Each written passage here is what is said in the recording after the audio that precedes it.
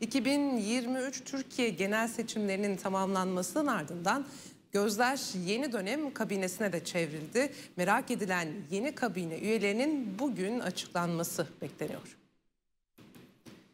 28. dönem milletvekillerinin yeminlerini ederek göreve başlamalarının ardından Cumhurbaşkanı Erdoğan da bugün Türkiye Büyük Millet Meclisi'nde yemin edecek. Erdoğan önce geçici meclis başkanı Devlet Bahçeli'nin elinden mazbatasını alacak. Saat 14'te de mecliste yemin edecek ve görevine başlayacak. Törenin ardından Anıtkabir'i ziyaret edecek olan Erdoğan saat 17'de de Cumhurbaşkanlığı Külliyesi'nde göreve başlama törenine katılacak.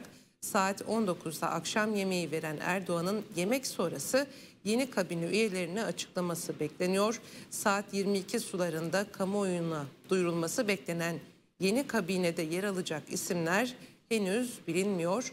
Ankara kulislerinde mevcut kabineden iki isim yeni kabinede yer alacağı iddiaları var. Bu isimlerin Kültür ve Turizm Bakanı Mehmet Nuri Ersoy ile Sağlık Bakanı Fahrettin Koca olduğu iddia ediliyor.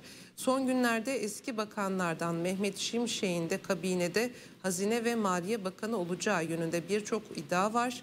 Dışişleri Bakanı olarak için MİT Başkanı Hakan Fidan'ın, Cumhurbaşkanlığı Sözcüsü İbrahim Kalın'ın da Hakan Fidan'ın yerine MİT Başkanı olarak yer alacağı da kulislerde konuşulan iddialar arasında.